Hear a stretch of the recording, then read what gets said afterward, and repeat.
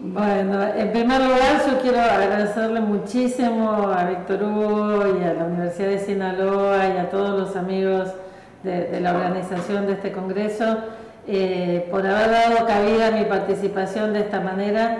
Realmente eh, por un problema de salud que tuve no, podía este, afrontar el viaje en avión en este momento, pero eh, me alegra muchísimo poder estar participando gracias a estos medios tecnológicos que nos permiten acortar las distancias de nuestra inmensa América. Y mm, bueno, como decía recién Sebastián, es todo un desafío para un argentino hablar despacio y para una porteña de Ciudad de Buenos Aires más difícil todavía, pero este, intentaré hacerlo pausado. Y mm, por suerte lo tienen a Sebastián y, a Víctor Hugo que este, si hace falta traducir del argentino al mexicano ya me, dirán en algún momento. Eh, He estado muchas veces en México y he tenido la suerte de poder conocer de cerca eh, lo que significa el servicio social de las universidades mexicanas. Eh, me parece que a veces es difícil ver desde México cuánto ha impactado la experiencia mexicana en el resto de América Latina y, cuánto ha sembrado esa experiencia que seguramente, como nos pasa a todos, cada uno sabe lo que cuesta, las dificultades, eh, las cosas que sin duda este, todos sabemos que tenemos por mejorar, pero la verdad es que eh, la movilización que implica el servicio social eh, en México es algo que me parece un testimonio de, la capacidad de compromiso de nuestras universidades con, la realidad. Así que para mí realmente eh, lo digo de corazón, es un honor poder estar participando de este encuentro nacional e internacional de ustedes. Eh, como dice el título de, esta conferencia, eh, vamos a hablar del modelo pedagógico del aprendizaje-servicio solidario. El aprendizaje-servicio o service learning, como le dicen sus vecinos del norte, es una pedagogía que tiene ya muchos años, pero que sobre todo en los últimos 15 años ha venido difundiéndose especialmente en América Latina. Yo voy a hablar en esta mañana sobre todo de dos temas, cómo la pedagogía del aprendizaje-servicio puede enriquecer o contribuir enriquecer la propuesta del servicio social y de qué manera esto se relaciona con el tema del Congreso de los Objetivos del Milenio. Permítanme, antes de empezar, eh, un, un último comentario muy personal. Eh, quiero saludar muy especialmente a Cari Rositas de la Universidad de Monterrey y ya que no la puedo acompañar eh, cuando reciba el muy merecido premio que va a recibir durante este congreso, le quiero hacer llegar un, saludo muy personal. Entonces, partimos con eh, algunas premisas. La primera que va a ser evidente para ustedes cuando hablemos de qué entendemos por aprendizaje-servicio es que se puede practicar el aprendizaje-servicio aun cuando no se lo llame así, aun cuando uno no conozca la bibliografía o no sepa que los pedagogos lo denominan así. Muchos docentes inventan el aprendizaje-servicio por su cuenta, justamente porque por la creatividad de los docentes muchas veces tratando de organizar un servicio social descubrimos que hay muchos aprendizajes asociados o a veces estudiando un tema que es de particular relevancia social, encontramos la manera de pasar de la teoría a la práctica. La segunda cuestión que eh, iremos desmenuzando a lo largo de la conferencia es que cuando hablamos de servicio solidario o de solidaridad, somos conscientes de que esta palabra solidaridad le puede pasar como le pasa tantas veces al peso argentino que se devalúa muy rápidamente.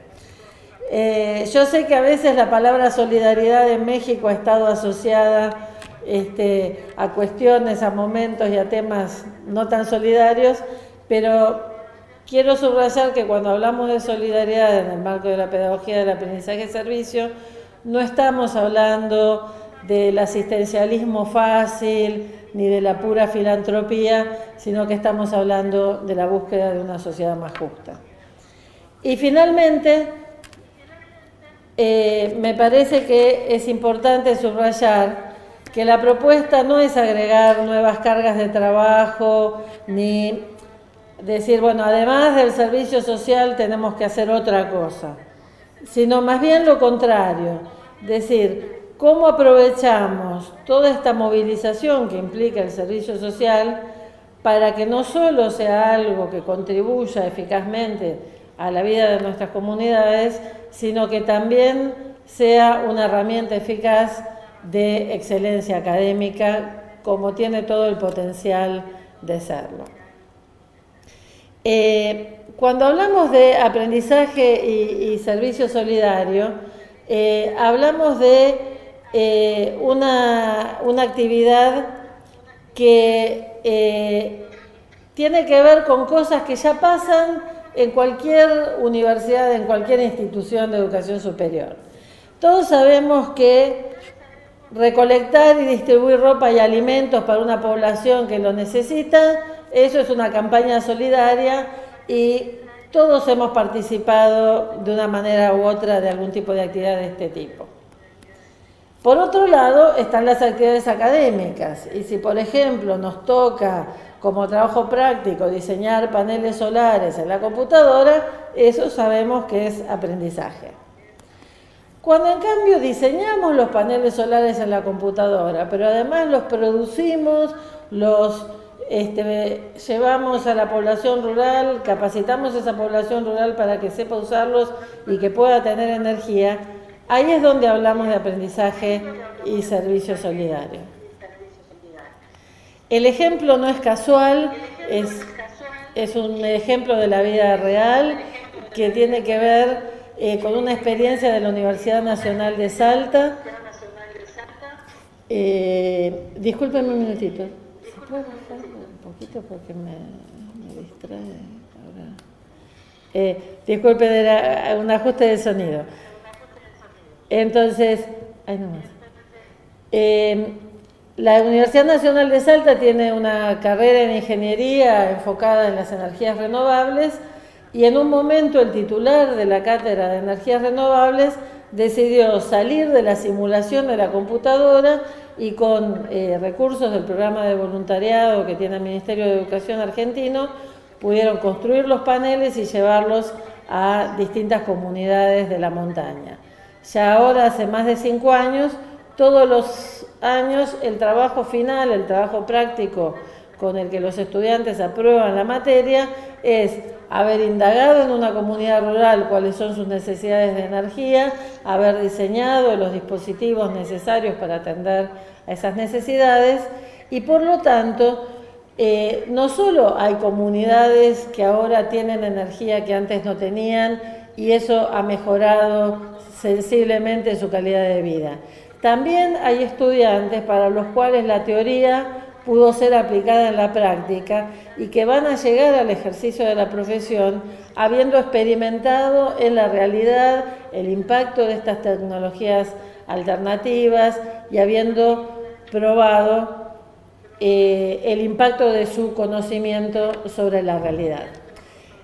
También un efecto colateral es que mientras que las simulaciones en la computadora se podían aprobar con cuatro, los dispositivos construidos en la realidad tienen que estar funcionando perfectamente y por lo tanto también los aprendizajes y eh, el desarrollo de las competencias ha sido eh, muy superior.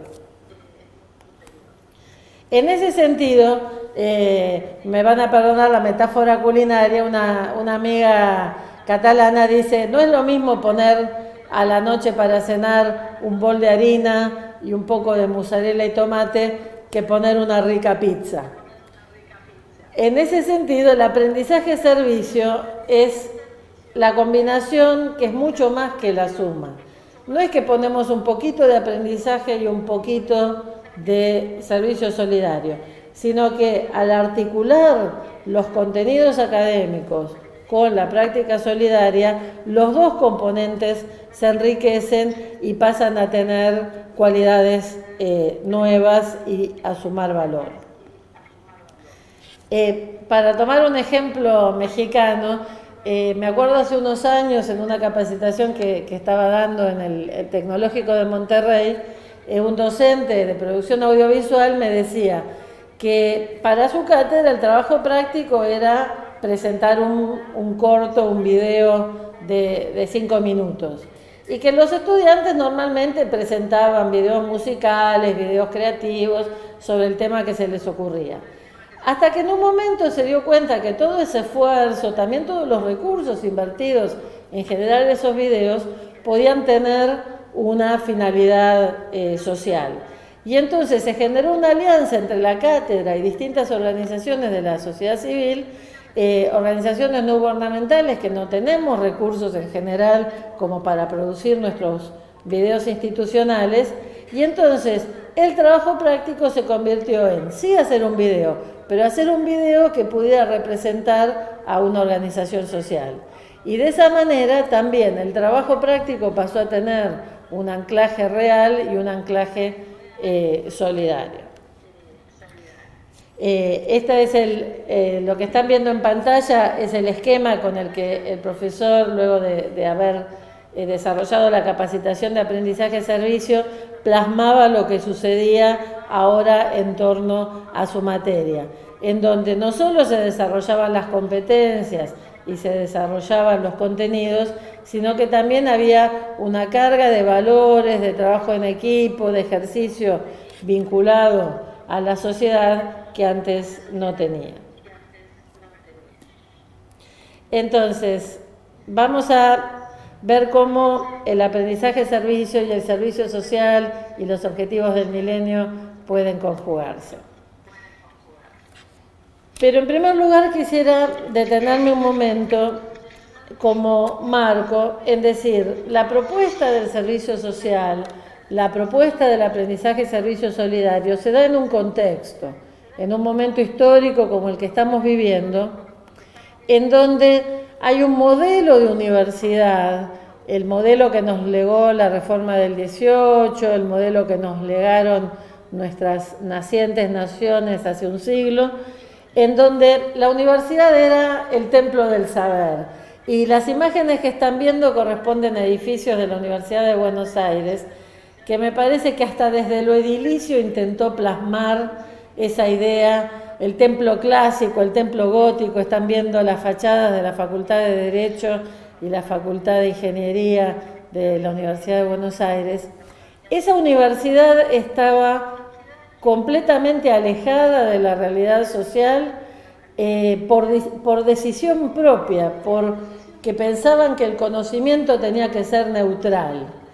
Y eh, si a través de la reforma se empezó a pensar en la necesidad de una extensión universitaria, este era el tercer pilar, el último, el que llegaba al final de todo, si quedaba tiempo, un poco era la cenicienta del sistema, y era algo por definición que iba en paralelo a lo que era el cuerpo central de la universidad que tenía que ver con la vida académica. En ese sentido, uno entiende eh, la impaciencia de la frase de Vasconcelos cuando decía en 1920 en la apertura del ciclo lectivo de la UNAM, eh, no vengo a eh, mejorar la, a, trabajar para la universidad, sino a pedirle a la universidad que trabaje para el pueblo. Me parece que la intencionalidad del servicio social y la intencionalidad del compromiso social que muchas universidades latinoamericanas están teniendo hoy, apunta justamente a construir esta otra cara de la universidad. Esta misma Universidad de Buenos Aires, que tiene las fachadas de los templos góticos y, clásicos, es también una universidad en donde los estudiantes de veterinaria hacen sus prácticas previniendo enfermedades en las mascotas de los barrios más pobres de la ciudad, en donde los diseñadores gráficos diseñan materiales para la campaña de permanecer en la escuela y de apoyo al apoyo escolar que están dando los estudiantes de ciencias de la educación, en donde los estudiantes de ciencias sociales colaboran con el fortalecimiento de las organizaciones comunitarias y en donde todos los conocimientos de las distintas carreras desembocan en el programa de atención a barrios vulnerables que desde hace varios años está desarrollando la facultad. En donde, por ejemplo, este, en la Facultad de Arquitectura, Diseño y Urbanismo, cada carrera de la facultad contribuye desde distintos aspectos. Desde, por ejemplo, los de diseño de indumentaria, fabricando modelos de zapatillas juguete, como ven en la esquina, para eh, que la cooperativa de trabajo, el microemprendimiento de las mujeres del barrio tenga un buen producto que ofrecer, hasta los de arquitectura que diseñan los planos y contribuyen a la construcción de centros comunitarios. En este eh, proceso, ustedes ven que hay como un encuentro entre la tradición y la innovación. Como dicen eh, los pedagogos catalanes eh, Puig Rovira y, y Palos Rodríguez, cuando uno describe experiencias de aprendizaje-servicio como las que les acabo de mostrar, todo lo que se nos cuenta es cercano, o sea, no, no hay nada absolutamente nuevo. Pero al mismo tiempo lo que es novedoso es como elementos que son conocidos como la práctica, este, el trabajo práctico, como los conocimientos, como el aprendizaje en base a problemas, articulados con la actividad solidaria, pasan a tener una nueva complejidad y a tener otro impacto. En ese sentido, me parece que en la raíz de la propuesta del aprendizaje-servicio está esto que decía el pedagogo Núñez hace unos años, en el sentido de rescatar que detrás de cada propuesta educativa, por más neutral que se pretenda, hay siempre un posicionamiento ético. Yo diría, hay siempre una toma de posición hasta política en el sentido de para qué y para quién producimos conocimiento, para qué y para quién educamos, desde qué valores educamos o voluntaria o involuntariamente deseducamos. Y en ese sentido, volviendo a esto que decía de, la palabra solidaridad, me parece que hay un modelo tradicional de solidaridad que desde lo ético ya no nos es suficiente. Ese modelo de solidaridad en el cual había un sujeto solidario o una comunidad educativa o una comunidad solidaria que desciende hacia un destinatario o una comunidad necesitada. En este esquema estamos los que sabemos, los que tenemos, los que podemos, los que actuamos, los que damos, y hay quienes son los que consideramos que son los que ignoran, los que necesitan, los que están impedidos y los que tienen que esperar pasivamente que los ayudemos. En ese sentido, este modelo genera quienes se acostumbran a ayudar y quienes se acostumbran a recibir. Y después nos quejamos de las culturas clientelistas de eh, nuestros países. Bueno, entonces decíamos, hay una comunidad que es la que sabe, tiene y puede, y una comunidad que es la que ignora, la que necesita, y que por lo tanto estamos los que nos acostumbramos a ayudar y los que se tienen que acostumbrar a esperar ser ayudados. En ese sentido, muchas veces con las mejores intenciones, las instituciones educativas de todos los niveles reproducimos modelos clientelistas en donde eh, a quienes tienen menos se eh, les considera eh, impedidos de poder generar desde su propia iniciativa, desde su propia creatividad, desde su propia identidad, los cambios. En cambio, cuando hablamos de aprendizaje-servicio, Hablamos de un modelo que algunos autores como Bayo eh, denominan la solidaridad horizontal. Una solidaridad en la que nosotros como sujetos, parte de una comunidad, nos reconocemos frente a otra comunidad como sujetos en un vínculo horizontal en donde reconocemos que nosotros sabemos, pero que también eh, los otros saben de su realidad, tal vez cosas que nosotros no conocemos, que nosotros tenemos algunas cosas, pero quizás ellos tienen sus propios saberes, este, sus propios conocimientos y sus propias capacidades. Y en ese sentido, en un proyecto de aprendizaje-servicio, estamos poniendo el énfasis más en el compartir que en el dar, en el hacer junto con eh, los actores comunitarios, con nuestros aliados de la comunidad, que en dar a otros.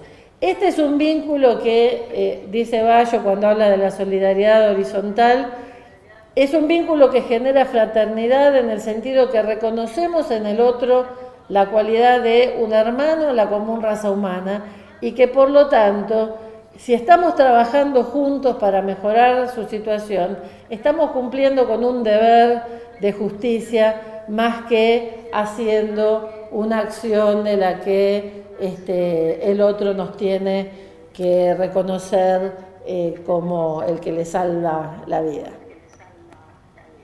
En ese sentido, y volviendo a la experiencia que les comentaba antes de Ingeniería de Salta, me gustan mucho estas dos fotos porque tienen que ver con este proceso horizontal que lograron construir los estudiantes de la ciudad de Salta con los pobladores de este minúsculo pueblito rural en lo alto de las montañas. Los estudiantes de la ciudad llegaron con una propuesta para instalar calefones solares en todas las casas. Habían visto que el agua del arroyo baja a temperaturas por debajo de cero y que las mujeres, como en los tiempos ancestrales, seguían lavando la ropa en esa agua congelada que duele cuando uno pone la mano. Sin embargo, cuando presentaron su proyecto de los calefones en todas las casas, para su sorpresa, las mujeres no estaban contentas, no saltaron de alegría, sino que les explicaron que para su manera de vida, el ir a lavar juntas la ropa al río era el único momento que les permitía salir del rancho, intercambiar las novedades, hablar de los hijos, y que para su cultura eso de estar cada una encerrada en su casa lavando la ropa sola no tenía ninguna gracia. Entonces los estudiantes tuvieron que reorganizar el proyecto y sí, poner el calefón solar en las casas para que cada familia pudiera tener la posibilidad de bañarse con agua caliente, pero también buscaron los fondos y se las ingeniaron para construir lo que se ve en la foto, que es un lavadero solar comunitario, en donde el momento de lavar la ropa sigue siendo un momento compartido, solo que en condiciones menos peligrosas para la salud de lo que era antes.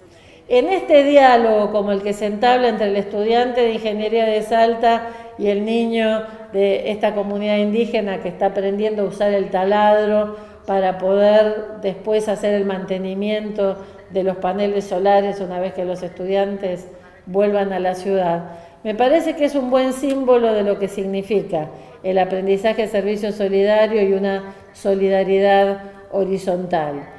Implica pensar no en lo que a mí me parece que el otro necesita, sino llegar a generar un vínculo por el cual el otro pueda decirme de verdad qué es lo que necesita.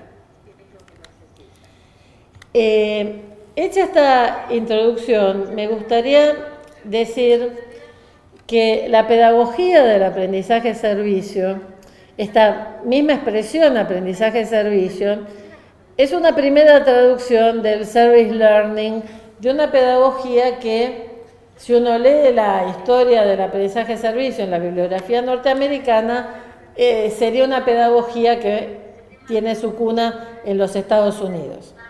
Yo mi formación original es eh, de historiadora, así que este, a veces me gusta pelearles un poco a los colegas del norte el tema histórico, los norteamericanos dicen, el aprendizaje servicio surge a partir del pensamiento de, Dewey, del aprender haciendo, del aprendizaje en base a la experiencia, y tomando esa influencia, en los años 60 surge el aprendizaje servicio como aprender haciendo al servicio de los demás.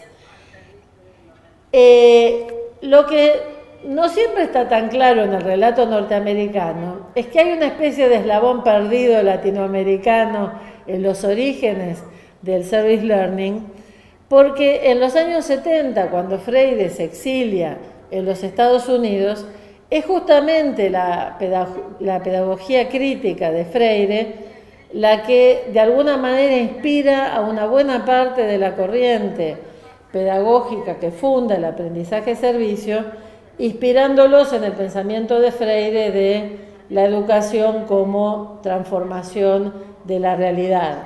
Esta praxis en donde la teoría, la reflexión no puede estar desvinculada de la acción transformadora de la realidad. Pero así como en Estados Unidos nos dicen, bueno, el aprendizaje de servicio nació de experiencias muy anteriores al primer Congreso del 69, a mí me gusta recordarles que en América Latina en realidad hay experiencias muy anteriores a las primeras experiencias que eh, a mediados de la década del 20 desarrolló Dewey en eh, algunos colleges norteamericanos. Y justamente siempre traigo a colación que en realidad quienes son el antecedente más antiguo conocido son los mexicanos, porque en eh, la constitución de su país, cuando en el artículo quinto se habla del servicio social que tienen que cumplir eh, los profesionales y los graduados, estaban poniendo las bases del servicio social, que ustedes saben mejor que yo, comenzó a desarrollarse en las universidades mexicanas aún antes de que en el 45 se reglamentara el mandato constitucional. Y en ese sentido me parece que también la reforma universitaria nacida en Córdoba son estos dos polos que desde México y desde Argentina difundieron ya desde principios del siglo XX este compromiso de las universidades con la realidad social de nuestros países. Y en ese sentido, nuestra experiencia de aprendizaje y servicio es mucho más compleja pedagógicamente y como experiencia que la experiencia norteamericana que viene un poco más linealmente de la pedagogía de Dewey y de la de Freire. Eh, yo diría que en América Latina casi todas las instituciones educativas en algún momento u otro han desarrollado actividades solidarias que tenían un cierto valor educativo. Y en las últimas décadas, los avances y la difusión del constructivismo y de la investigación-acción han hecho que en toda la región haya muchísimas experiencias de aprendizaje-servicio hechas desde nuestra identidad latinoamericana y desde nuestra complejidad eh, propia. En ese sentido me parece que reconocemos el aporte que la bibliografía y la investigación norteamericana ha hecho a la reflexión del aprendizaje-servicio a nivel mundial. Pero también me gustaría decir que en los últimos años en América Latina ha ido creciendo un pensamiento propio y por eso enfatizamos que hablamos no solo de aprendizaje-servicio, sino de aprendizaje-servicio solidario, con la carga cultural que la palabra solidaridad tiene en nuestros pueblos.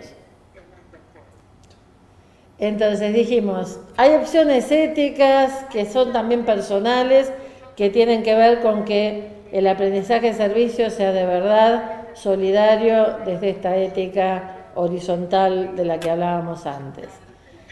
Lo que nos hemos ido dando cuenta en la experiencia latinoamericana es que para que el aprendizaje-servicio deje de ser solo una estrategia didáctica y pase a ser una pedagogía, están involucrados algunos conceptos que tienen mucha tradición en nuestras instituciones. El de universidad comprometida, el del conocimiento como un bien social, el conocimiento significativo y relevante socialmente, el concepto de protagonismo juvenil y este concepto de solidaridad horizontal del que hablábamos.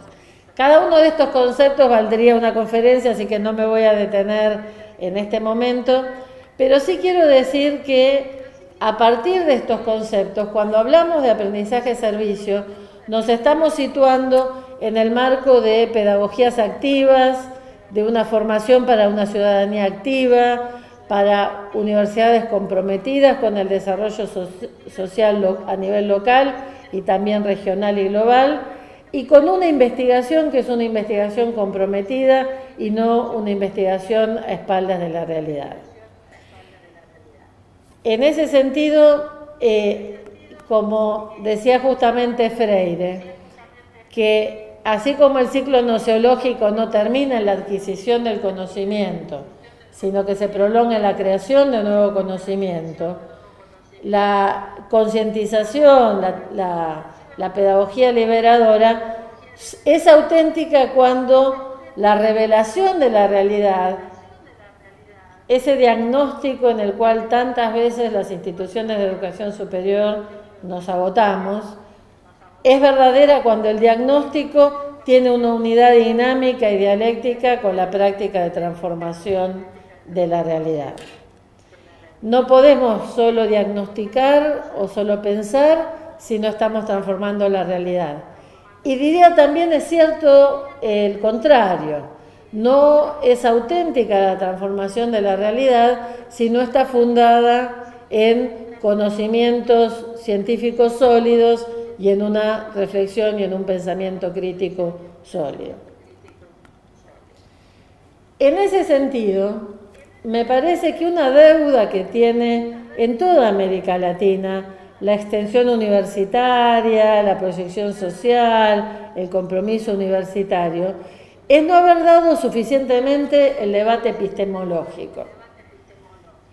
Cuando nosotros hacemos servicio social, no lo hacemos o no deberíamos hacerlo, me parece, solo porque lo manda la Constitución o porque nuestras, o porque nuestras comunidades lo necesitan, sino también porque es el tipo de conocimiento que queremos producir. Como dice el, especialista brasilero Boaventura de Sousa Santos, hay un conocimiento que es regulación, que es reproducción de los modelos preexistentes, que es reproducir muchas veces la injusticia.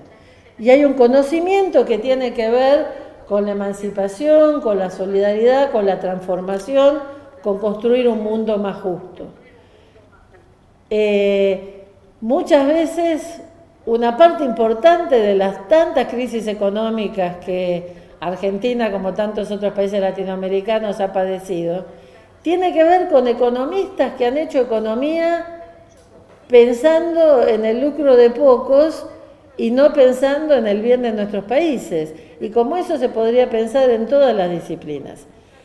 En ese sentido, me parece que de alguna manera el debate durante el siglo XX entre la extensión y los otros dos pilares de la universidad era por un lado estamos los comprometidos y por otro lado están los serios. Los comprometidos les decíamos a los académicos que tenían que comprometerse y los académicos nos decíamos que lo nuestro era poco serio. Y tenemos que reconocer que a veces algunas de nuestras intervenciones en la realidad fueron poco serias. Algunas de las acciones sociales de muchas universidades latinoamericanas eran superficiales, eran asistencialistas, no involucraban investigación sobre el terreno, no involucraban creación de nuevos conocimientos, no implicaba el suficiente diálogo con los saberes populares o con los saberes ancestrales. Y en ese sentido, eh, muchos extensionistas reconocen que la extensión universitaria pecó muchas veces de ser débil en su conceptualización y en sus desarrollos epistemológicos. Me parece que en cambio, y con la difusión de una nueva eh, generación de proyectos sociales en los últimos 15 o 20 años, me parece que estamos llevando el debate justamente al campo académico. Y estamos empezando a plantear que nadie es realmente serio, que ninguna investigación es realmente seria si no es pertinente socialmente. Que la universidad no puede ser de excelencia si no es una universidad comprometida con la realidad. Miren, lo, comento desde una experiencia muy pequeña. Hace unos meses estuve en una universidad colombiana en la zona del Caribe colombiano.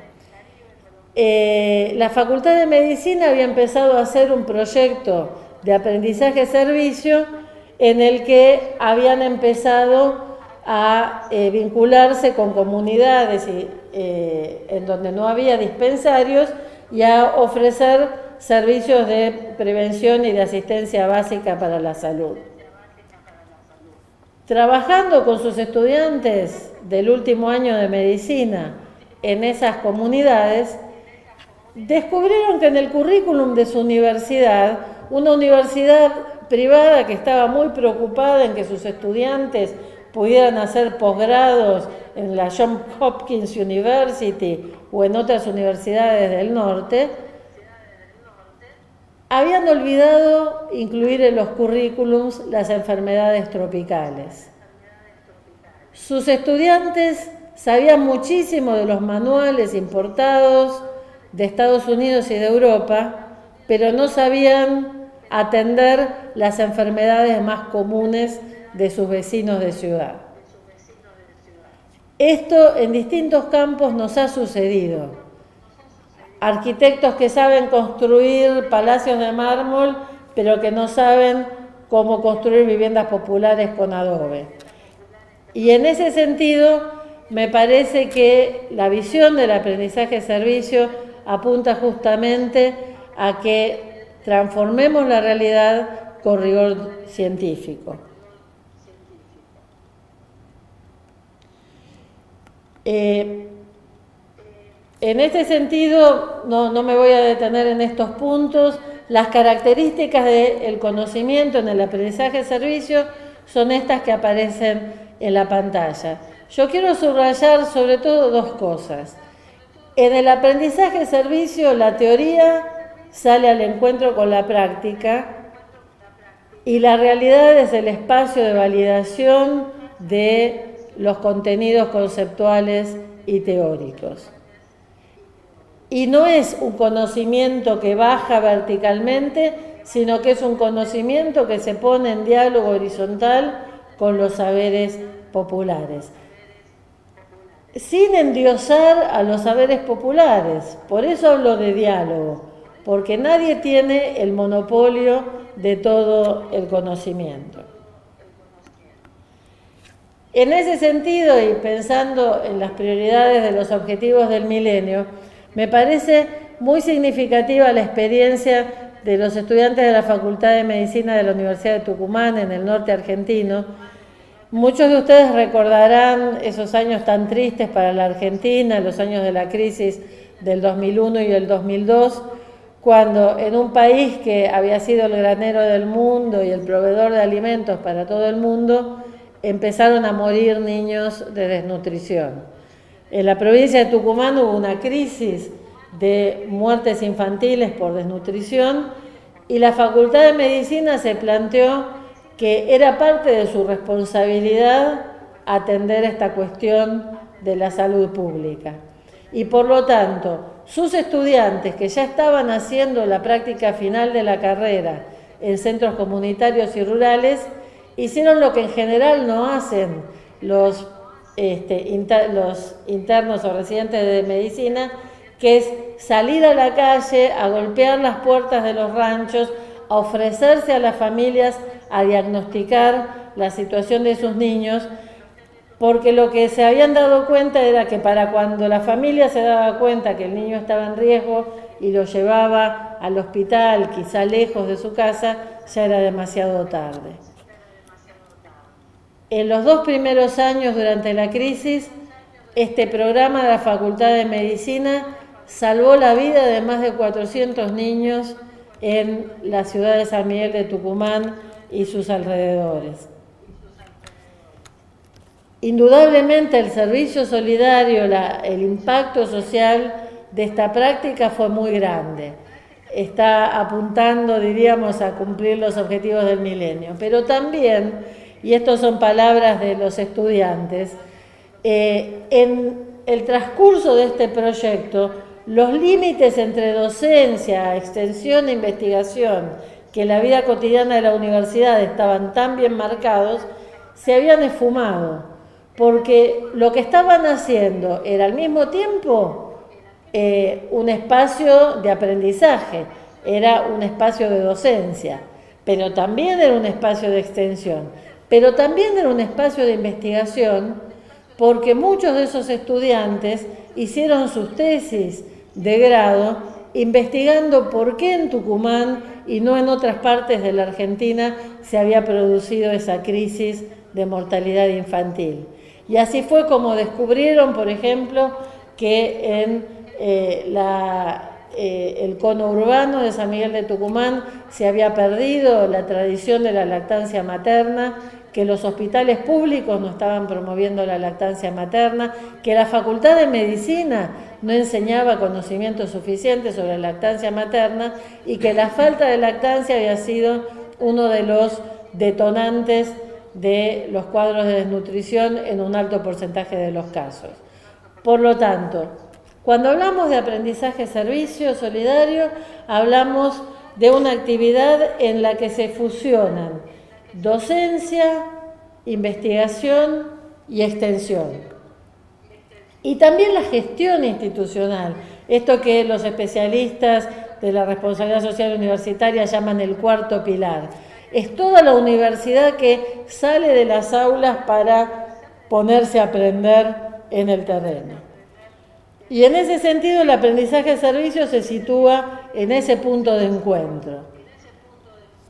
No es todo lo que hace la universidad, es lo que hace la universidad cuando está articulando sus tres misiones. Y en ese sentido, este diálogo que decíamos que se establece horizontalmente entre universidad y comunidad, se establece desde este núcleo en donde nos interesa ser solidarios y ofrecer un servicio a la comunidad, pero también nos interesa aprender y que nuestros estudiantes se formen y también nos interesa producir nuevos conocimientos. En ese sentido, perdón, eh, de alguna manera estamos poniendo en práctica esto que dice el especialista británico eh, Younger, de la Universidad de Brighton cuando dice que el compromiso social actualmente ya no es visto como el tercer pilar, sino más bien como una aproximación crítica en cuanto a la relevancia de nuestras actividades de enseñanza e investigación. Eh, voy a un ejemplo eh, concreto. Una investigación sobre alimentos desarrollado en el Centro de Investigación eh, sobre Alimentación de la Facultad de Ciencias Exactas de la Universidad Nacional de La Plata, eh, muy cerca de Buenos Aires. Estaban investigando una leche cuajada característica de las comunidades armenias en la Argentina, eh, de las comunidades provenientes del Cáucaso y del Medio Oriente, que se llama kefir. En el laboratorio habían llegado a la conclusión que este particular tipo de leche cuajada tenía una serie de beneficios para la salud infantil y para la prevención de enfermedades eh, en la infancia. Hasta ahí una investigación, un paper, una publicación, una patente. O lo que se produjo que, además de la investigación y de la publicación, pensando que en torno a su ciudad había un número importante de comedores comunitarios, a donde los niños de las familias eh, con menores recursos mandan a sus niños para que coman, y donde hay mujeres de buena voluntad que con los recursos que provee o la provincia o los donantes les dan de comer, se les ocurrió entrenar a estas madres cuidadoras, a estas eh, mujeres líderes de los comedores comunitarios, para que pudieran aprender a preparar el kefir y con el kefir eh, enriquecer la merienda que daban a los niños. Solo que los investigadores no habían previsto un pequeño detalle, el factor humano. Los niños, aunque tuvieran hambre, miraban esa cosa que no era ni yogur ni leche y no querían tomarla. Esa cosa llamada kefir era muy rara, no entraba dentro de sus patrones culturales y por lo tanto eh, todo el esfuerzo hecho por la universidad de acercarse a los centros comunitarios parecía que había sido en vano.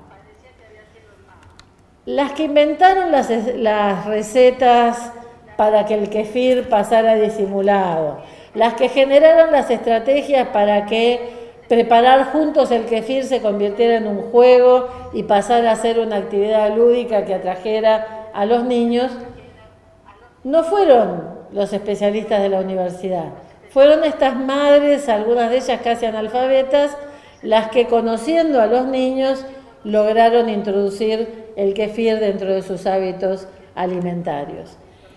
En ese sentido, la universidad pudo desarrollar un aprendizaje a partir de esta experiencia y ahora en el currículum del posgrado incorporaron una asignatura que es la antropología de la alimentación.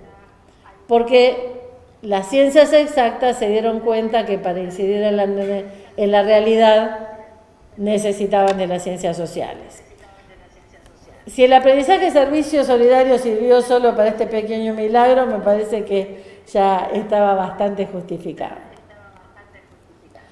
Entonces, entrando ya en la parte final, de eh, la última parte de la presentación, como para eh, dejar que después podamos tener tiempo para el diálogo, yo quisiera ya entrar en algunos aspectos eh, más concretos en cuanto a cómo es que se articula el componente aprendizaje con el componente servicio. Cómo hacemos para articular los conocimientos y la vida académica con el servicio social. Eh, en esta frase que, está en pantalla, me parece que eh, Cooper, un especialista de la Universidad de Florida, nos dice bastante realistamente. El vínculo entre aprendizaje y servicio no es automático. Los jóvenes pueden involucrarse en actividades comunitarias y aprender todo lo que aprendieron los estudiantes que instalaron los paneles solares en Salta o los de física que trabajaron en los centros comunitarios, o puede ser que no se aprenda nada. Puede ser incluso que se aprenda, como dice Cooper, la lección equivocada.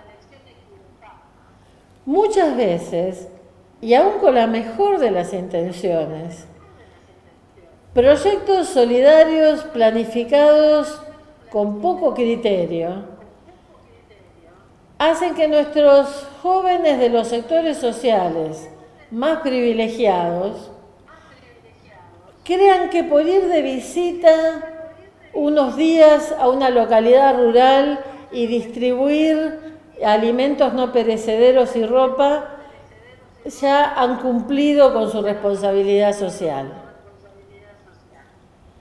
Y de alguna manera uno escucha los comentarios de estos jóvenes diciendo qué buena que es la gente del campo, qué hospitalarios que son, eh, qué bien que lo pasamos. Y uno se pregunta si no está involuntariamente enseñándole a nuestra futura clase dirigente que basta dedicar un ratito, que basta hacer un gesto de buena voluntad para que las cosas cambien. Y el joven que hoy se dedica al asistencialismo, tal vez mañana será el empresario que hace beneficencia y paga la entrada a un costosísimo banquete benéfico sin cuestionarse eh, si los sueldos que está pagando, si los salarios que está pagando en su empresa son justos. En ese sentido, me parece que esto que dice Cooper de que las actividades de servicio irreflexivas o planeadas pobremente pueden tener un efecto contraproducente, es algo que nos obliga a reflexionar muy seriamente sobre la calidad de nuestras prácticas solidarias. En ese sentido, me parece que es interesante esta herramienta que originalmente desarrolló la Universidad de Stanford y que en estos últimos años desde CLAIS hemos ido transformando y revisando. Lo que llamamos los cuadrantes del aprendizaje-servicio tienen que ver justamente con esta intersección entre el aprendizaje y el servicio solidario. En el eje vertical estaríamos midiendo de menor a mayor la calidad del servicio que ofrecemos a la comunidad. Todos sabemos que distribuir un poco de alimento puede ser indispensable en un momento determinado de emergencia. Pero también sabemos que atender la emergencia no significa solucionar las raíces de los problemas sociales. Es necesario atender la emergencia, pero, no, pero si nos agotamos en la resolución de la emergencia, dentro de 100 años seguiremos atendiendo a las mismas e, emergencias. En cambio, si en el extremo más alto del eje de la solidaridad eh, generamos educación, capacitación laboral, emprendimientos eh, eh, de, aprovechamiento de los recursos en forma sustentable, si trabajamos sobre la salud, sobre el empoderamiento de quienes tienen menos, seguramente estamos ofreciendo una calidad de servicio que eh, es más duradero, que tiene mayor impacto real en la sociedad. Entonces, hay una serie de graduaciones desde la colecta hasta los proyectos más complejos de desarrollo local. De la misma manera, hay una serie de matices en el eje horizontal. No hace falta mucho conocimiento científico para organizar una recolección de alimentos no perecederos. En cambio, en los proyectos que hemos visto, como el de los paneles solares o el del kefir, en el servicio a la comunidad hay involucrado conocimientos disciplinarios y multidisciplinarios eh, muy serios y muy complejos. Todas esas graduaciones de los dos ejes nos delimitan estos cuatro cuadrantes que ustedes están viendo. En el cuadrante inferior hablamos de ese tipo de prácticas en donde sí salimos a la realidad de la comunidad, pero para estudiarla, para aprender de ella. Hacemos un trabajo de campo, hacemos aprendizaje en base a problemas, hacemos pasantías o prácticas, pero sin intencionalidad social. ¿Sí? Vamos a terreno, tomamos los datos, los relevamos y el producto final es interno de la universidad. Es un paper, es una evaluación, es un trabajo práctico, pero que ni siquiera siempre consideramos necesario comunicarlo a la comunidad que estuvimos estudiando. En el extremo opuesto está lo que llamamos las iniciativas solidarias y los voluntariados asistemáticos. Hay un terremoto, recolectamos para el terremoto, llega la Navidad, recogemos juguetes para los niños.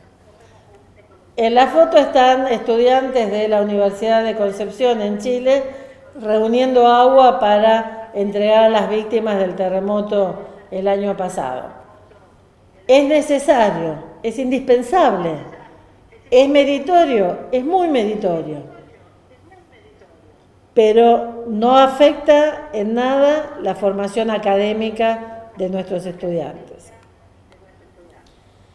En el cuadrante superior hablamos de extensión, de voluntariado institucional, de servicio social, sin vinculación curricular.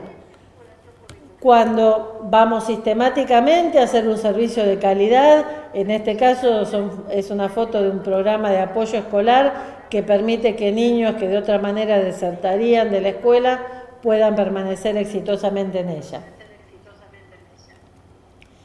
El servicio es eficaz, eh, apunta a un problema estructural, apunta a solucionar uno de los objetivos del milenio, pero se hace en paralelo a la vida académica. El apoyo escolar lo puede ofrecer un estudiante de ingeniería, un estudiante de física, un estudiante de marketing.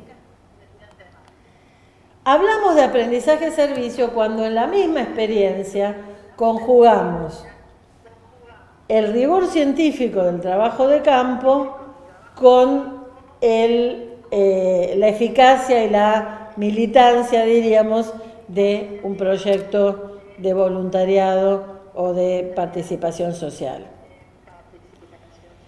En ese sentido, una de las cosas interesantes y complejas del aprendizaje servicio solidario es que la misma actividad puede estar situada en distintos cuadrantes según cómo se planifique. Eh, estamos ahí en, la imagen. Voy a tomar un ejemplo muy, muy básico. Pintar paredes. En la foto que ustedes están viendo hay un grupo de estudiantes de la Universidad de La Rioja en Argentina que para el bicentenario de nuestra independencia salieron a pintar con los colores patrios los muros de su ciudad. Un gesto patriótico muy loable, pero que obviamente no tiene ninguna incidencia en su formación académica. Algunos estudiantes a lo largo y a lo ancho de América Latina están participando de Un Techo para mi país, esa gran movilización de construcción de viviendas eh, populares, de viviendas de emergencia. Bueno, pintar paredes en el contexto del techo ya no es un hecho aislado, sino que forma parte de un programa social de que apunta al mediano y largo plazo, que tiene otras acciones complementarias, en donde construir la casa es un eslabón en una cadena de acciones que se desarrollan. Pero una vez más, pueden estar pintando paredes los de educación, los de psicología, los de arquitectura y los de medicina. Estas imágenes que están viendo ahora, en cambio, es el pintar paredes, que es aprendizaje-servicio. Eh, la imagen corresponde a una gráfica desarrollada por los estudiantes de diseño gráfico para ambientar, decorar y pintar los muros de un hogar de ancianos del municipio que acoge a los ancianos de menores recursos de la ciudad, un edificio público que estaba en malas condiciones y que con la contribución de los estudiantes pasó a ser un ambiente más acogedor. Pero no solo el trabajo se hizo en función de los ancianos, estas imágenes que ven forman parte de la carpeta de trabajos prácticos con la cual los estudiantes aprobaban o desaprobaban una materia optativa de las carreras de diseño, que es el Seminario Interdisciplinario para la Urgencia Social. Un seminario en el cual la actividad práctica se hace siempre al servicio de organizaciones eh, comunitarias y sociales. Entonces, pasando de los cuadrantes y de las prácticas a la definición, vamos a decir que hablamos de aprendizaje-servicio cuando se dan simultáneamente tres notas características, lo que Furco llama los caracteres programáticos del aprendizaje-servicio.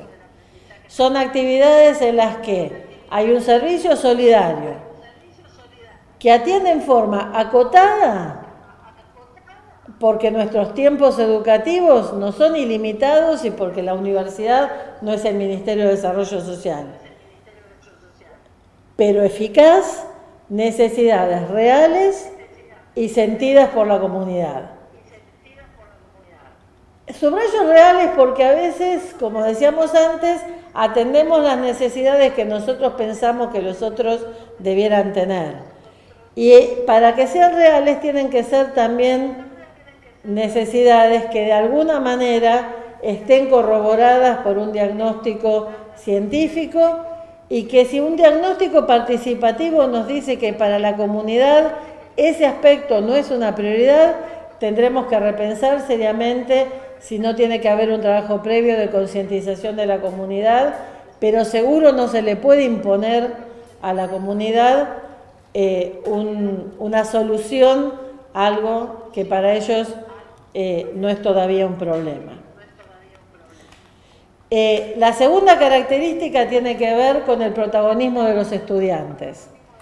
Como en el caso del servicio social, el aprendizaje-servicio es la actividad de los estudiantes.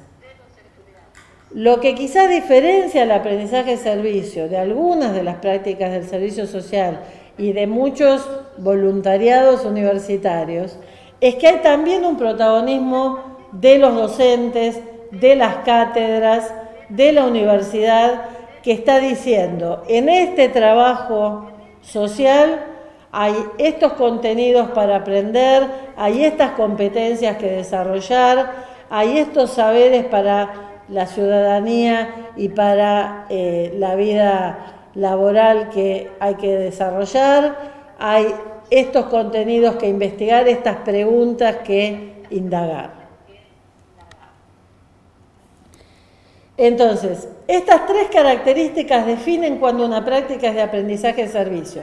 No importa si no le estamos llamando aprendizaje-servicio. Yo puedo analizar un voluntariado universitario, los trabajos prácticos de una cátedra y decir, estas dos actividades son aprendizaje-servicio, aunque no se llamen así, porque reúnen estas tres características. Dicho esto, hay que reconocer que no todas las prácticas de aprendizaje-servicio son iguales. A veces hay un poquito de aprendizaje y un poquito de servicio. No están muy bien vinculadas entre sí, no son muy relevantes. Hay un incipiente aprendizaje-servicio, pero todavía no está desarrollado. A veces, como dice Robert Sigmund, hay aprendizaje con A mayúscula, aprendizaje servicio con A mayúscula o con S mayúscula. A veces hay mucho aprendizaje y poco servicio. Eh, me acuerdo de una escuela norteamericana que durante 20 días había estudiado el problema del hambre en el mundo y después había ido una vez a repartir la sopa en el hogar de los sin techo. Bueno, había una desproporción entre lo aprendido y lo servido. Eh, puede ser al revés, que a veces prestamos un enorme servicio a la comunidad, pero no sistematizamos los aprendizajes desarrollados en torno a esa práctica. A lo que todos apuntamos, pero esto es un proceso, apuntamos a un aprendizaje-servicio equilibrado, en donde tanto el aprendizaje como el servicio son significativos, son relevantes, son de calidad y al mismo tiempo están estrechamente vinculados. Entonces, eh, un concepto que, que hemos desarrollado particularmente en América Latina es esta idea de las transiciones hacia el aprendizaje-servicio. Eh, yo me acuerdo la primera vez que visité experiencias en Estados Unidos, me llamaba la atención que el proceso de un proyecto de aprendizaje de servicio eh, en una universidad norteamericana en general era, uno se sentaba, escribía un pedido de fondos, lo enviaba al programa de Learn and Serve America, luego recibía los fondos y hacía el proyecto tal cual lo había planeado. En general nuestra realidad es un poco menos prolija, pero también más sustentable. Cuando hace dos años el Congreso Republicano le quitó a la presidencia de Obama todos los fondos para aprendizaje-servicio, muchos proyectos que estaban basados en, la disponibilidad de fondos quedaron paralizados.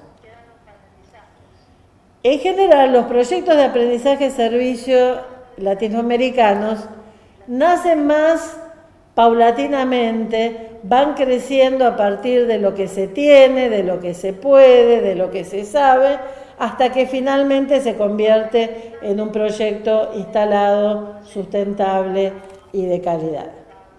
En ese sentido, me parece que hay dos como caminos más habituales de transición. Por un lado están los que están desarrollando un conocimiento en su cátedra o en su programa de investigación y decidieron ponerlo al servicio de los demás. Sería el caso que vimos de el video de la cátedra de producción audiovisual o de el KEFIR en la investigación de eh, ciencias exactas. A veces recorremos el camino inverso. Primero salimos a la comunidad, acordamos con ellos objetivos, desarrollamos un trabajo de desarrollo social valioso y a lo largo de ese trabajo descubrimos que los estudiantes desarrollan sus competencias profesionales, que aprenden cosas que no se pueden aprender solo de los libros y empezamos a organizarlo hasta que el aprendizaje y el servicio quedan bien definidos y articulados. Entonces, este, esta idea de transiciones eh, parte sobre todo de partir de lo que ya se está haciendo.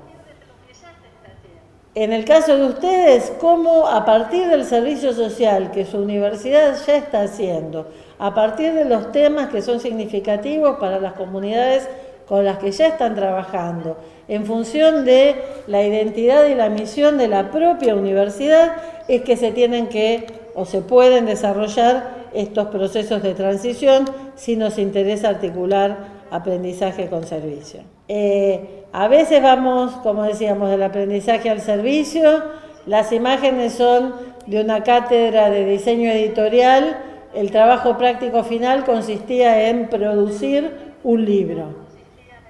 Y los estudiantes empleaban muchísimo tiempo y también muchos recursos económicos en entregar ese libro, producto final con el que aprobaban la materia. Y solo por haber conocido experiencias de aprendizaje de servicio en escuelas de la zona, al titular de la cátedra se le ocurrió que ese libro que tenían que producir de acuerdo a los conocimientos propios de la cátedra podía convertirse en un don para eh, los niños del pabellón oncológico del hospital, de una escuela de la periferia y para niños que no tenían posibilidad de comprar libros originales y adecuados a sus necesidades. El efecto no esperado de este proyecto fue que mejoraron los niveles de las producciones porque una vez más, una cosa era entregar el libro para que le pusieran una nota y quedara encerrado en un cajón. Y otra cosa era producir un libro que iba a ser usado por los niños de manera real. Eh, y otra cosa era hacerlo eh, eh, solo por la nota. Me están diciendo que tengo que ir cerrando, así que este, voy a este, pasar este, por alto algunos de los ejemplos. Este, perdón, este ejemplo me parece relevante en este sentido.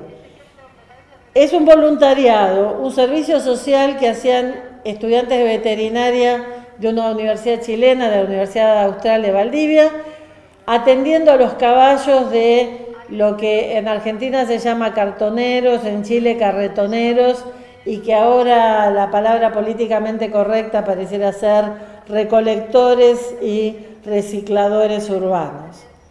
En otras palabras, esas familias que viven de reciclar y vender lo que encuentran en la basura de otros y para quienes el caballo que arrastra su carro es un elemento vital para su supervivencia. Haciendo este proyecto, los docentes de la cátedra de Quino se dieron cuenta que habían estado estudiando las patologías de los caballos de las estancias, de los caballos de carrera, eh, de los caballos de recreo, pero que no sabían cómo atender las enfermedades de estos caballos que viven en contextos urbanos degradados, que comen de la basura, que viven en el hacinamiento, que llevan cargas más pesadas de las que su esqueleto está preparado para soportar.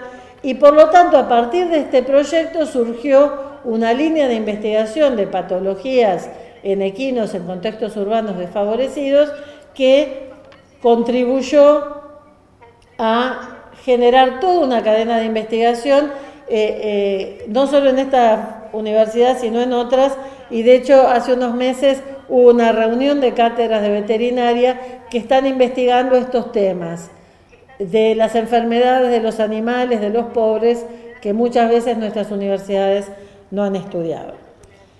Entonces, en función de todo lo que hemos venido diciendo, la invitación a la que eh, va esta ponencia, a la que apuntaba y espero haber aportado algo, es a decir, yo sé que en México hay servicio social que no tiene ninguna vinculación académica, pero que también hay ya muchas actividades de servicio social que tienen vinculación curricular, que tienen vinculación con la titulación y con las investigaciones de final de la carrera y seguramente la creatividad de ustedes eh, está ya imaginando muchas maneras de aprovechar el servicio social como un espacio de articulación con la vida académica.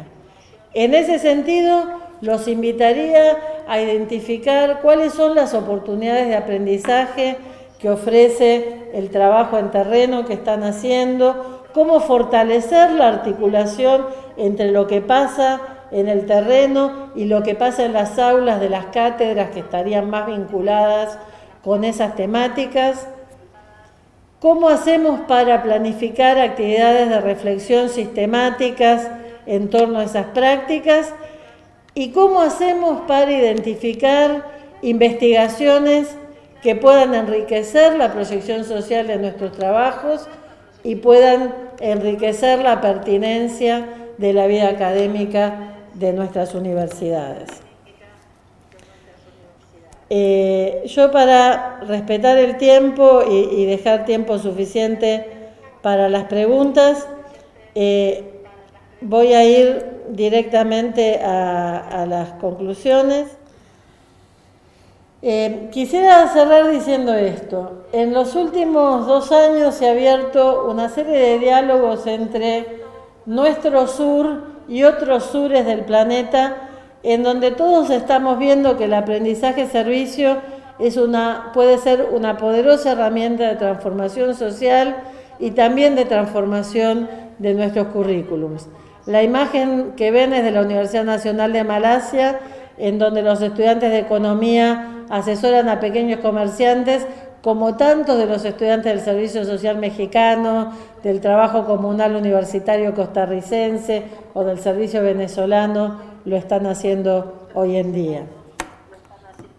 Eh, en la Universidad de Benda, en Sudáfrica, eh, los estudiantes de ciencias políticas salieron del análisis teórico de la falta de participación de los nuevos ciudadanos negros en la nueva constitución de Mandela para ir a las comunidades a capacitar a quienes nunca habían participado en cómo introducirse en los consejos municipales que aún años después de la revolución de Mandela siguen estando formados sobre todo por blancos. Me parece que tenemos mucho que aprender los unos de los otros y en este sentido desde CLAIS estamos propiciando este diálogo sur-sur para que podamos también ayudarnos a crecer en este sentido. Habría mucho para, más para decir y para saber. Eh, pongo a disposición nuestra página web, eh, claes.org, en donde hay muchos materiales que pueden descargar gratuitamente, tanto eh, un manual que puede ser usado por los estudiantes hasta publicaciones académicas.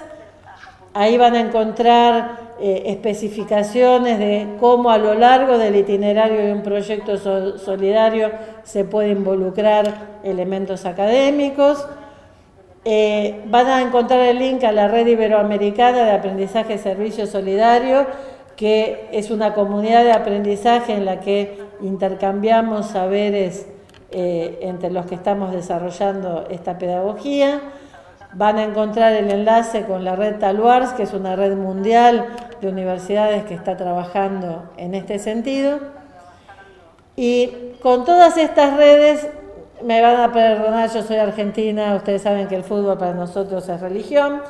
Este, a partir de la experiencia del fútbol quisiera decir, nadie aprende a jugar al fútbol dibujando la cancha en un aula sentado y en silencio. Se aprende saliendo a la cancha. Y muchas veces nos pasa lo contrario en el servicio social, en las actividades de extensión universitaria, en los voluntariados, salimos a la cancha, pero sin esa inteligencia que tienen los grandes de saber lo suficiente como para poder aprovechar, como hace Messi, cada resquicio. Eh, me parece que cuanto más desafiante y significativo es el servicio, más necesitamos aprender. Y estoy segura de que, hace falta saber más para transformar nuestra realidad latinoamericana que para aprobar un examen. Como decían los estudiantes de Tucumán de la Facultad de Medicina, para algunas universidades el objeto de su existencia es la excelencia académica.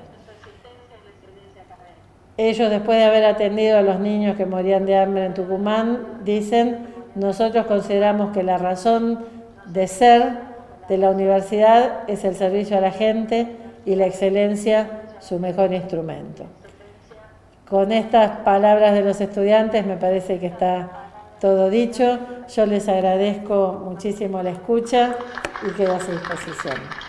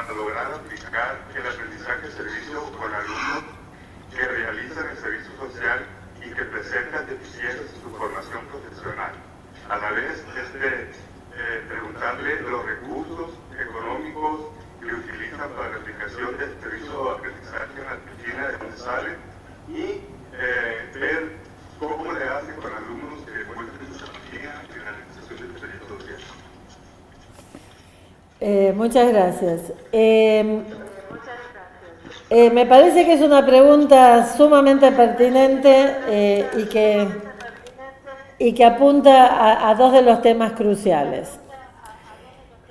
El primero es que, siendo una experiencia de aprendizaje, le tenemos que dar la posibilidad a nuestros estudiantes de que se equivoquen. Y esto presupone un contrato muy claro con nuestros aliados comunitarios. Cuando nuestros estudiantes están haciendo su servicio social, son todavía estudiantes en formación y por lo tanto la comunidad tiene que saber que no son profesionales eh, recibidos a los que se les puede pedir que todo salga perfecto por un lado. Tenemos que darles un cierto margen de error. Pero por otro lado, eh, el aprendizaje servicio tiene que convertirse en una herramienta de calidad académica porque es justamente donde se evalúa si lo que aprendimos, lo que estamos enseñando en las aulas es suficiente. si las prácticas que hacen previamente los estudiantes antes de llegar al servicio social son suficientes. Miren, en, la Universidad de Buenos Aires, en la Facultad de Veterinaria, hay algunas prácticas solidarias que están al final de la carrera, pero hay otras prácticas muy sencillas como son las de vacunar mascotas, se están haciendo en barrios muy carenciados con estudiantes que según el currículum recién iban a poder tocar un animal en cuarto año. Lo que la universidad se dio cuenta a partir de las experiencias de aprendizaje de servicio es que tenía que incorporar prácticas en terreno desde mucho antes. Entonces, me parece que en esto hay una ida y vuelta. Si nosotros evaluamos que nuestros estudiantes no están suficientemente preparados en el momento que llegan al servicio social, que de lo que yo sé es en general hacia el final de la carrera, Tal vez sería cuestión de revisar qué es lo que está pasando en los primeros años de la carrera. La segunda pregunta, que es la gran pregunta, es la de los recursos. Lamentablemente le tengo que decir que en Argentina, como en Chile, como en Venezuela, como en todos los países en los que he estado viendo proyectos, una parte importante del proyecto es ver de dónde se obtienen los recursos. En algunos países como Venezuela o Costa Rica, donde igual que en México el servicio es obligatorio, las propias universidades tienen algunos recursos, pero que son siempre insuficientes. Y todos hemos vendido empanadas, hecho kermeses este, y organizado este, pedidos de fondos a donantes porque nunca son suficientes los fondos que nuestra universidad puede eh, otorgar a este tipo de proyectos. En algunos países, como fue en su momento en Chile o como es en este momento en Argentina, el Ministerio de Educación tiene algunos recursos concursables para proyectos de voluntariado, pero igualmente es siempre insuficiente. A mí me parece que este es un aprendizaje que también es importante que nuestros estudiantes lo hagan. Que no se cambia el mundo gratis. Que si uno quiere transformar la realidad tiene que ver de dónde salen los pesitos. Y a veces pasa como pasó los estudiantes de arquitectura de la Universidad de Buenos Aires, que estaban haciendo sus pasantías en algunos estudios arquitectónicos y se dieron cuenta que en todas las obras eh, de estas grandes constructoras había sobrantes de materiales de construcción y entonces pedían que esos sobrantes se canalizaran a la universidad y con esos materiales la universidad está construyendo. Espero haber respondido a su pregunta.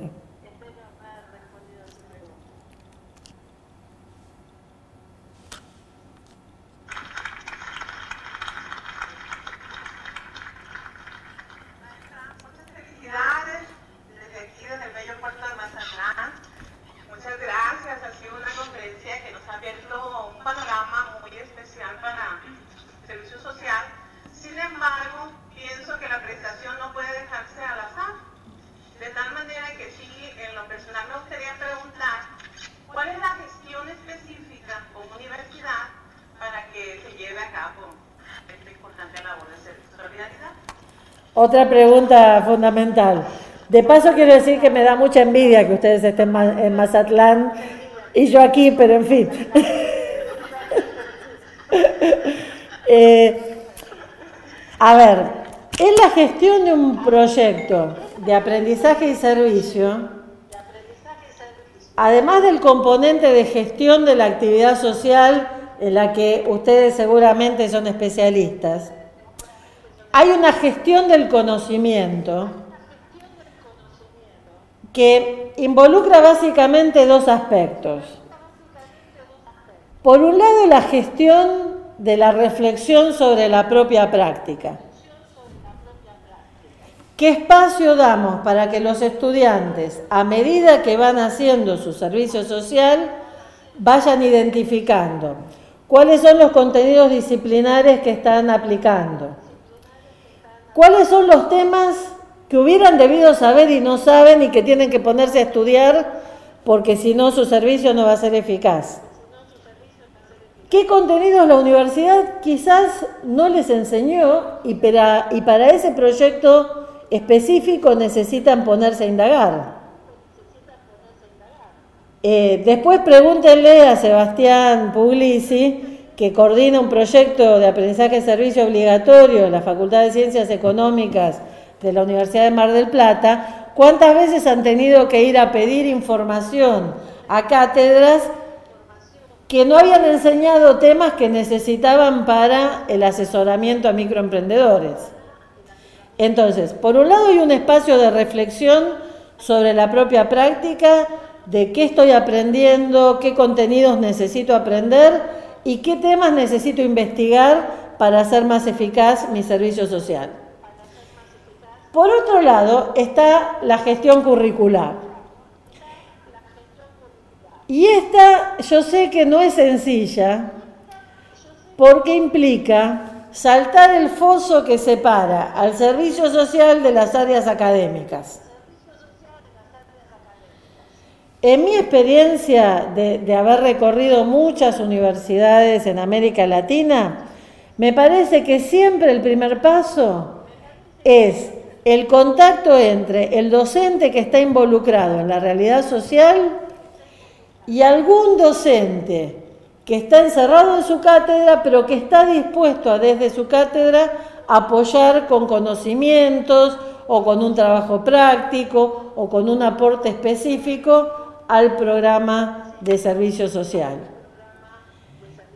En ese sentido, por ejemplo, y volviendo al ejemplo de veterinaria, si la atención a los caballos de los cartoneros la están haciendo en su práctica profesional de final de la carrera, los estudiantes del último año de veterinaria, y se ve la necesidad, porque en el barrio hay perros y gatos sin vacunar, de que sean vacunados, la cátedra de grandes equinos puede pedirle a la cátedra que se ocupa de los temas de eh, epidemiología si sus alumnos pueden hacer una práctica vacunando en ese barrio. ¿Por qué? Porque eso facilita y enriquece el trabajo del servicio social, favorece la calidad de vida en el barrio y al mismo tiempo empieza a hacer que otras asignaturas empiecen a sumarse desde los propios contenidos disciplinares. Eh, me parece que estamos eh, llegando al final del tiempo. Veo que hay una línea larga y me hubiera encantado poder responder a todas las preguntas, pero creo que a lo largo de este encuentro tendrán oportunidad de hablar con Sebastián Puglisi, que tiene además su, propia experiencia como docente universitario al frente de un programa de aprendizaje servicio. Eh, pueden este, participar de su taller si les interesa saber más. Yo de corazón quiero agradecerles que, me hayan recibido en este rato en Mazatlán y, desearles el mejor de los éxitos para esta conferencia. Eh, por el bien de los mexicanos a los que el Servicio Social este, atiende y por el bien de todas nuestras universidades para que cada vez podamos producir conocimiento más relevante para eh, nuestros pueblos. Muchas gracias.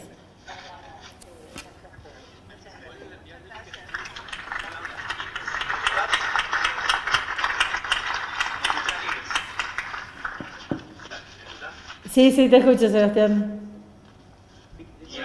Ah, bien. Eh, tenemos algunas personas que están esperando para hacer preguntas, pero si te parece, que hagan las preguntas todas juntas, porque capaz que eh, se repiten algunas cuestiones. ¿Te parece? Perfecto. Ahí va. Perfecto. Y, y breve, porque hay un acto que ya está comenzando y está el rector esperando. Bueno, pues de igual manera, este, maestra Nieves, una felicitación muy calurosa desde allá de México, sobre todo de todos los sinaloenses y a través de la Universidad Autónoma de Sinaloa este, que tenemos una similitud muy importante en cuanto a la prestación de nuestro servicio social que va encaminado a proteger a los más necesitados. Yo creo que hay una similitud muy importante. Eh, mi nombre, María Los Ángeles Costilla licenciada en enfermería, maestría en educación humanista.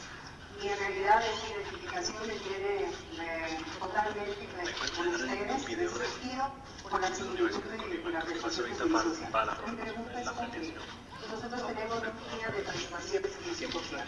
Una hacia las instituciones privadas públicas y otra hacia el servicio de la comunidad. Usted mencionó al iniciar su conferencia una parte importantísima y que me parece que no nada más Latinoamérica, sino el mundo deberíamos retomarla. Precisamente para traer todos que es que la pasantía sea obligatoria hacia los más necesitados y hacia las comunidades.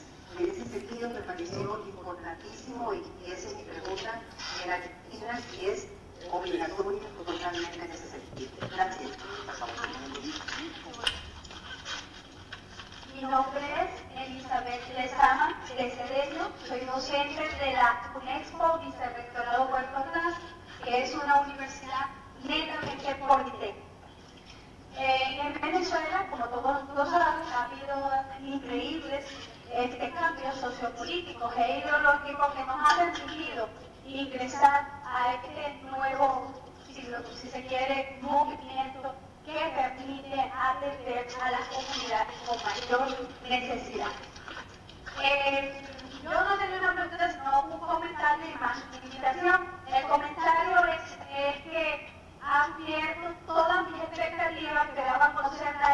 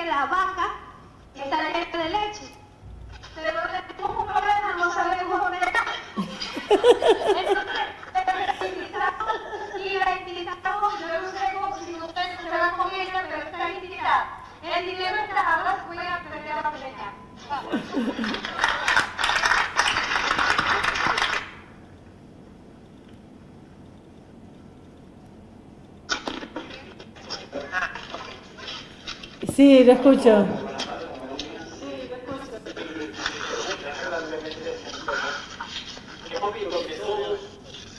todos los años pasado por una universidad y todos los que han, vivido en una comunidad. ¿Cómo es posible que nosotros siendo docentes, siendo de una universitaria, no nos hayamos dado cuenta de que tenemos que participar para que todos hagamos un mejor país? Entonces, los muchachos que vienen a la universidad son que extraterrestres, porque son de la comunidad. Es una pregunta general. ¿De dónde vienen? De otras comunidades exteriores, yo no son de la comunidad, no son estudiantes de la comunidad. Entonces, lo que te pregunto es, ¿será posible que algún día nosotros nos demos cuenta que esos muchachos son de la, comunidad y van a la universidad?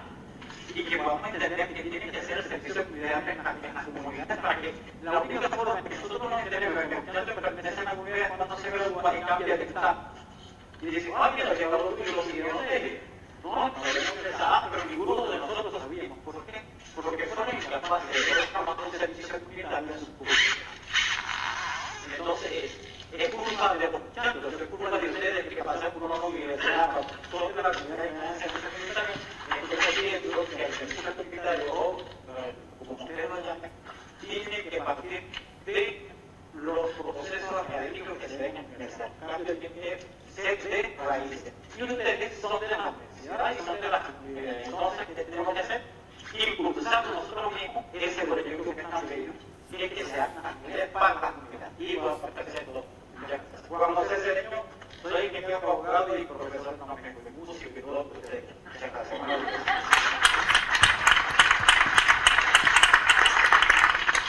Buenas tardes, profesor. Mucho gusto y sí, eh, coincido con todos mis compañeros que me han antecedido. Eh, una excelente eh, ponencia y una, una ponencia que nos, nos debe de llevar a la reflexión, eh, sobre todo en, en México, el servicio social universitario, que es eh, obligatorio, es una actividad obligatoria para todo aquel eh, muchacho, estudiante que estudia en una universidad pública y también las, las privadas. Voy a lo siguiente. Su exposición, en algunos de los casos, ya lo manifestó la Universidad Autónoma de Sinaloa y lo manifiesto yo, la Universidad de Sonora, llevamos ese, ese proceso de aprendizaje-servicio, que lo llamamos en el servicio social.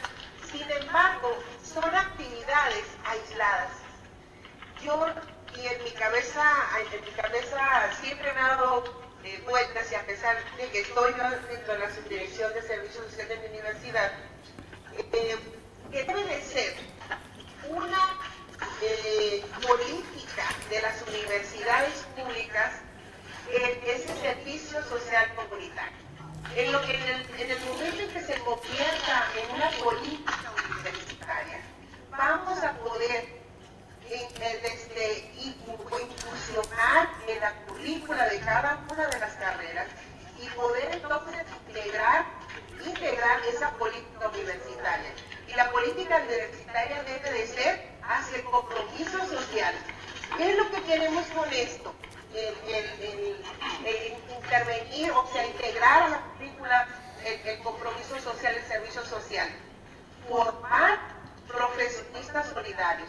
Eso es lo que queremos, porque ahorita pasan nuestros muchos por el servicio social comunitario, sí se sensibilizan, pero hasta ahí. Debe de ser una política de que desde el momento en que el estudiante entre a la universidad, debe de saber que hay una formación solidaria para siempre, para siempre. De tal manera que sale el, el- veterinario, el médico, la enfermera, no va a haber necesidad que diga, oye, sé solidario con el de enseguida, sé solidario con, con la gente indígena. No, tú vas a tener tu trabajo, pero te vas a dedicar a, a tener actividades solidarias. Entonces yo creo que esto, a lo mejor se oye fácil, pero no, no es fácil que las autoridades eh, universitarias vean esto como un, una, una política universitaria, una política universitaria. En nuestro país tenemos, este, tenemos dependencias gubernamentales donde hay recursos. También la incorporación de los dineros de los programas de la Secretaría de Desarrollo Social, de las demás secretarías que tienen que ver con el bienestar social, pueden ser retomados por las propias universidades una vez que tengamos claro esta vía de incorporar como una línea, línea política de, este, del bienestar social dentro de las universidades. Entonces, y bueno, yo creo que esto lo tenemos que compartir en el, en, el, en el taller que vamos a tener hoy en la tarde. Yo creo que son de las cosas que debemos discutir y sacar como conclusiones de este, de este taller. Muchísimas gracias. Soy Rosalía Ramírez de la Universidad de Dale el regalo a ella. Muchas gracias. Buenas tardes, Buenas yo tardes. soy Armando Domínguez, vengo de El Salvador, Eh, soy psicólogo, vivo eh, en la profesión social en un departamento, un departamento de humanidades. Eh, sé que esta de el tiempo, sintetizaré mi pregunta así rápido. En función del rol del docente, de acompañar al estudiante de la transformación social, ¿cómo hacerlo con capacidades de futuros académicos? Es decir, a veces el compañero uno pregunta, mira, ayudo a supervisar al, estudiante, bueno, por supuesto que me incluyo yo también, eh, me dice de que no, no ha venido el compañero a supervisar, entonces cuando yo le pregunto, piensa que es una persecución, ¿verdad? Y los problemas académicos pasan a problemas personales. Entonces, ¿cómo hacer con esa posibilidad? Más allá de esa, un aspecto de conciencia, ¿qué hacer? Quiero saber su opinión. Eh, muchas gracias por la ponencia. Gracias. Breve. Era el problema principal, el individualismo y el egoísmo desde las autoridades nacionales, universitarias, los docentes y los mismos estudiantes aprendidos en la sociedad tradicional. ¿Quién es el docente? Eh, Pedro Martín de Panamá, pero ciudadano internacional. Buenas tardes.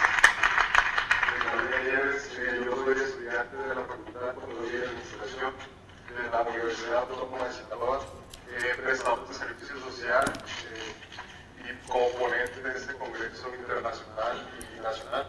Eh, mi pregunta es, eh, ¿qué repercusión piensa usted que tiene eh, la imposición aquí en México de, servicio social, de que a nosotros los prestadores de servicio social se nos obliguen para realizar el servicio social para nosotros poder con nuestra profesión? en este caso, el servicio social que yo realicé voluntario, pero muchas veces eh, a los prestadores de servicios eh, de forma obligatoria y no de manera voluntaria. En este caso, eh, ¿qué piensa usted que se tiene que hacer en nuestras universidades para que nosotros los estudiantes tomemos el servicio social como de manera voluntaria y no de manera obligatoria? No, la parte voluntaria eh, le, comento a la señora que estaba hablando hace unos momentos, eh, yo me, me, me, considero un joven que hace las cosas de manera voluntaria y para ayudar a mi pueblo, para ayudar a mi, a mi comunidad. Eh, no, no es privativo de todos los jóvenes, sino hagamos sus excepciones.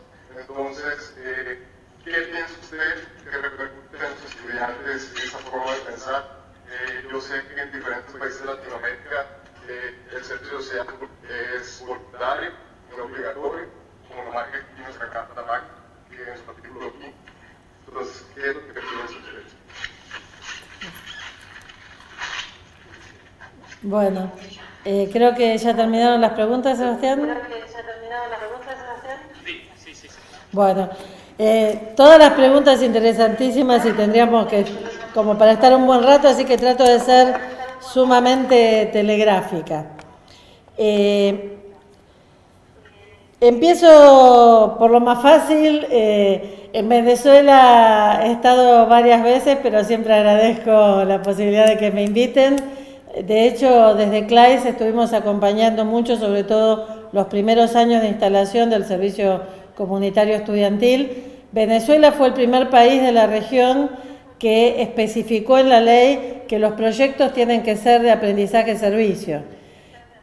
Sin embargo, todavía me parece que, como decía la, colega, eh, muchas universidades no saben muy bien de qué se trata y están buscando, así que estoy a disposición, como todo mi equipo, en lo que podamos ayudar. Eh, con respecto a las pasantías que me preguntaban antes, si hacerlas en contextos sociales solamente o en contextos también de, empresas o de organizaciones con fines de lucro. En general me parece que la tendencia en América Latina en general y en el mundo va cada vez más hacia ofrecer experiencias diferentes y que los estudiantes tengan tanto la posibilidad de conocer y familiarizarse con la cultura organizacional de las empresas, como que tengan la posibilidad que antes no tenían en muchos países de tomar contacto con las culturas organizacionales y las problemáticas de la sociedad civil y de las eh, comunidades y de los territorios. En ese sentido, me parece que cuanto más variada sea la oferta que a lo largo del trayecto educativo la universidad puede ofrecer, es mejor para nuestros estudiantes. Eh, me parece, como decía creo que el colega del Salvador, eh, no debiéramos convertir eh, nuestra disputa por el compromiso en un tema personal, ni en disputas ni enfrentamientos personales. Me parece, como, decía una colega, la colega, me parece fundamental esta transición que tenemos que hacer desde las experiencias individuales y desde un servicio social muy bien organizado, pero desvinculado de eh, las áreas académicas, esta transición hacia empezar a dar discusión en el campo de las políticas institucionales en general. Me parece que para dar ese eh, debate de las políticas institucionales hay un primer paso que es salir de la endogamia eh, histórica que en nuestras universidades tenemos en cuanto a que los investigadores se tratan con los investigadores, los docentes con los docentes y los del servicio social con los del servicio social. Me parece importantísimo que tengamos nuestros congresos de aprendizaje servicio y de servicio social, pero me parece también que tenemos que empezar a tener intencionadamente presencia en los congresos disciplinares, en los congresos académicos, en los foros donde se debate la investigación y empezar a dar en esos foros la batalla por la relevancia social y por las políticas de compromiso que atraviesen transversalmente la docencia y la investigación, a partir de experiencias consolidadas que muestren que no es contradictorio el compromiso social y la excelencia académica, sino todo lo contrario. Y termino con la pregunta del estudiante que me parece es la gran pregunta y la gran discusión que, que creo que desde lo académico no está siendo zanjada porque hay investigaciones que muestran grandes resultados en proyectos, en programas obligatorios, investigaciones que muestran grandes resultados en el voluntariado. En Argentina no es obligatorio el servicio social, pero muchas universidades en ejercicio de su autonomía, como la Universidad Nacional de Río Cuarto o más recientemente la Universidad de Buenos Aires, están empezando a introducir requisitos de obligatoriedad. Entonces, los que lo tienen obligatorio lo quieren voluntario y los voluntarios lo quieren obligatorio. Me parece que en todos los casos lo importante es que, sobre todo en un requisito obligatorio constitucional como es el mexicano, que los estudiantes primero puedan sentir que tienen varias opciones válidas para cumplimentar el requisito, que puedan elegir según sus intereses personales entre distintos proyectos. Pero sobre todo me parece que la obligatoriedad nos pone a los docentes eh, en el lugar de tener que pensar mucho más intencionadamente la motivación, para que el servicio social no se convierta en un requisito burocrático, en algo que hay que cumplir porque no tenemos más remedio, sino en algo que se convierte en una oportunidad vital, enriquecedora, algo que nos puede marcar para el resto de nuestra vida, algo que al final pueda decir, me alegra que me hayan obligado a hacerlo. Eh, ese es el deseo que este, tengo para todos ustedes, que sus estudiantes se alegren de que la Constitución mexicana los haya obligado a hacer el servicio social porque se haya transformado en un antes y un después en sus vidas, en su vinculación con hacer un México mejor. Muchas gracias por su escucha. Gracias, Víctor, por la invitación.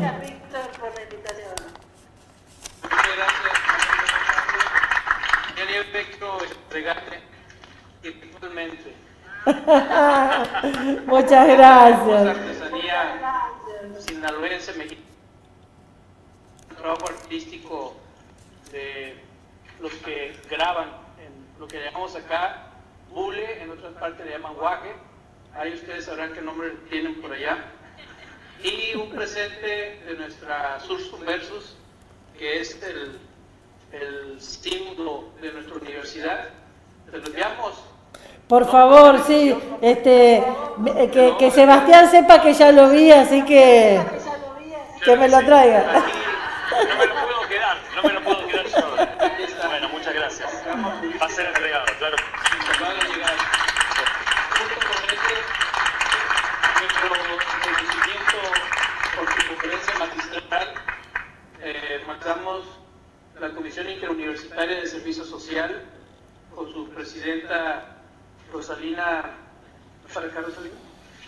Rosalina eh, Ramírez, que es la líder en México del Servicio Social Universitario Organizado, y que te lo hacemos llegar también con Publici, Sebastián Antonio Publici. Muchísimas gracias. Va a tener que pagar sobrecarga de vuelo, este, una canasta de, dulce regional Oh. de nuestro territorio sinaloense.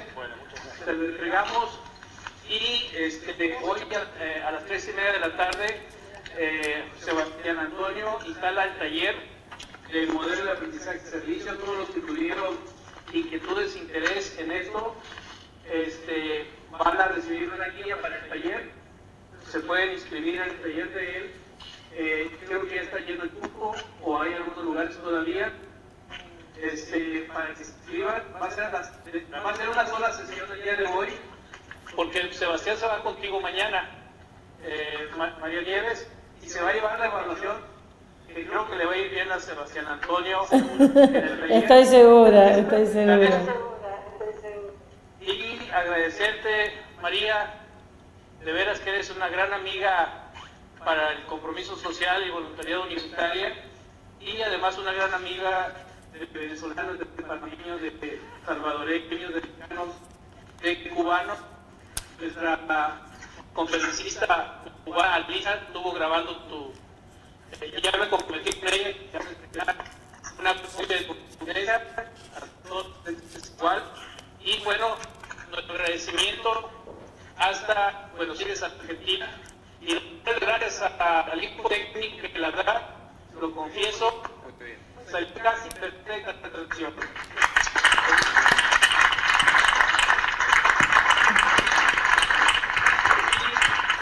Hasta la próxima, tres y media de la tarde, el taller Aprendizaje de Servicios.